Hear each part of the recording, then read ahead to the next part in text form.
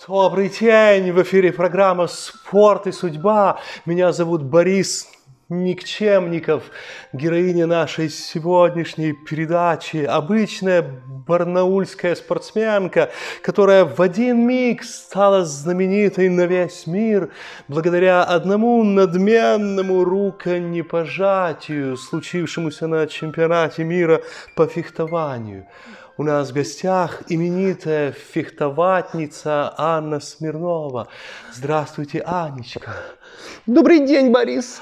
Скажите, это вы сейчас плачете или до сих пор вытираетесь после того, как вам откровенно плюнули в лицо? Нет, это я до сих пор плачу.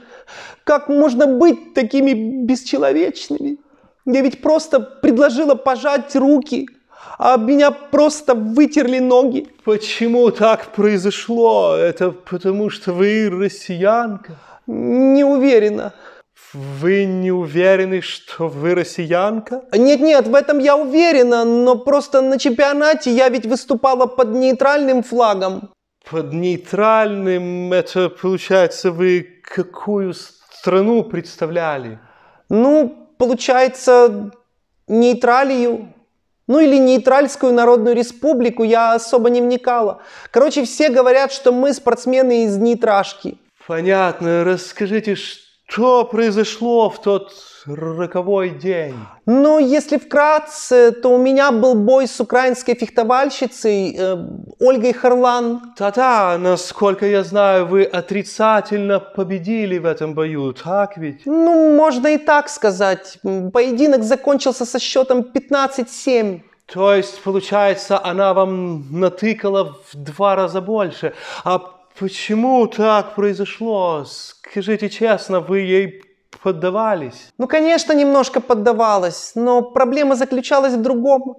Я ведь фехтовала с саблей отечественного производства, которую специально для меня недавно расконсервировали, а у нее была сабля натовского образца, а она, как вы понимаете, более высокоточная, ну и плюс там наконечники из обедненного урана. Какой кошмар! Но это же нечестно. Но это еще не все. В какой-то момент по ходу поединка я поняла, что все судьи куплены. Это возмутительно. И только после того, как украинку дисквалифицировали, я поняла, что все они были куплены нами. Слава небесам, все-таки есть в этом мире хоть какая-то справедливость.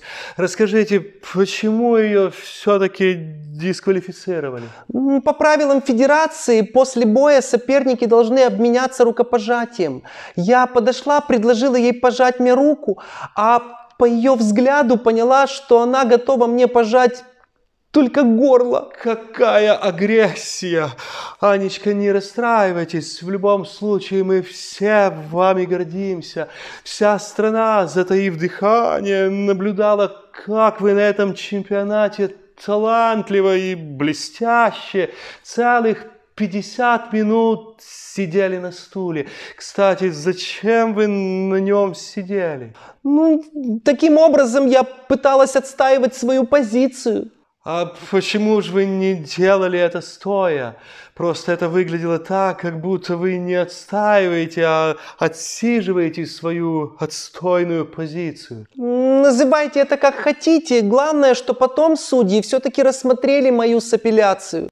Может, апелляцию? Да нет, я там такие сопли распустила, поэтому правильнее все-таки с апелляцию. И украинку после этого отстранили от участия в турнире. То, что вы сделали, это так по-русски.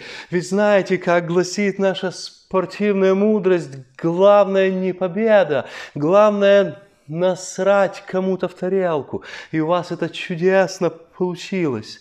Скажите, пока вы так долго сидели на этом стуле, о чем вы думали? Я думала о том, что пора заканчивать с этим фехтованием и подавать заявку на чемпионат мира по продолжительному стулосидению.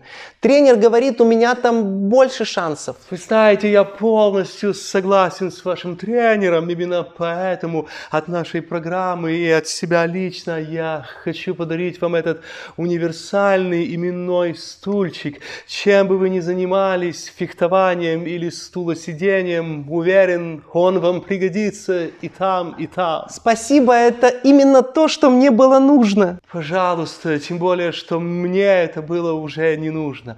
И последний вопрос. А что это за такая интересная у вас шапка на голове? М, это мой талисман. Мне ее брат дал на лето поносить, пока жара на улице. Сказал, носи ты, у меня в ней ноги потеют. Я знаю, ваш брат, он военный. Да, и скоро собирается на СВО. Поэтому до зимы буду носить ее я. А, а, а уже зимой ее будет носить брат. Ну, не знаю. Будет брат, будет носить. Че наперед загадывать?